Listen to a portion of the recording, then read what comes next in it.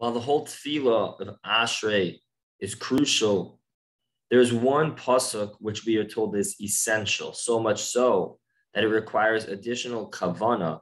And if we don't have that kavana, we are meant to repeat that part of the tefillah. That is the line of Poseach es yodecha umasbia lechol chayratzon, that Hashem open, opens your hand, umasbia lechol chayratzon, and satisfies the desire of every living creature.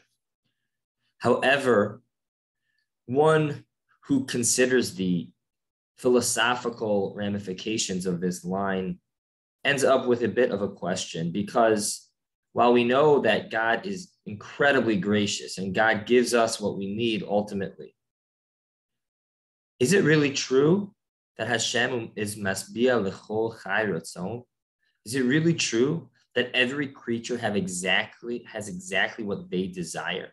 We are not lacking anything that we want. Is there nobody who is lacking sustenance or food or a place to live or a shidduch or a child or something else that they might want? Of course, on, on the surface level. And of course, we confront situations that we have desires which are not yet met. But I'd like to share two answers to this very difficult question likely the answer is not satisfying the questioner, and recognizing that there are more answers and ultimately the answer that we don't understand. But two, two answers suggested. The first comes from a mashal from Rav Chaim Kanievsky Shlita. And he explains that there was once a king who announced on a certain day that everybody in his under his rule would receive 10 silver coins and everyone got them, but there were a few individuals who actually owed the king 10 coins.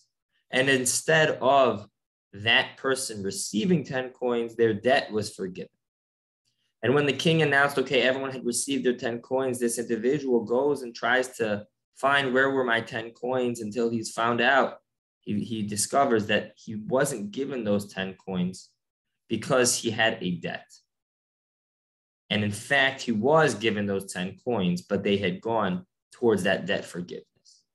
Explains Rav Chaim Kanievsky, oftentimes we don't understand and we don't get certain things that we may feel we need or we may feel we want, but that serves as a kapara, that serves as a, an atonement for that which we owe God. Alternatively, Hashem is the ultimate investor. Hashem knows what's best for us and knows what we truly knew, what we truly need or don't need.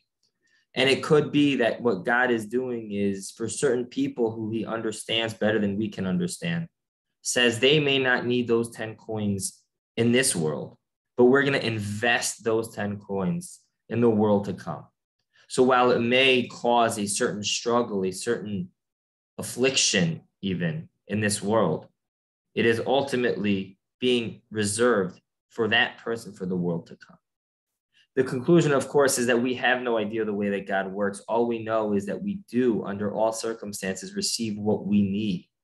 And that Hashem is masbiya lechol chayratzon. Hashem satisfies the desire of everyone. That doesn't mean the desire according to our own desires, but it means Hashem gives us what we need.